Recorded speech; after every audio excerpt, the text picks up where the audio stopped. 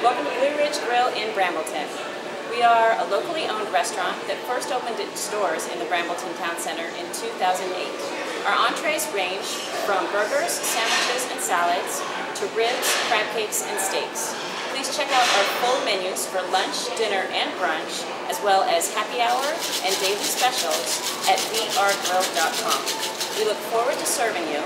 Please call ahead to minimize your wait. Thank you for watching. We hope to see you soon at the Brambleton Town Center.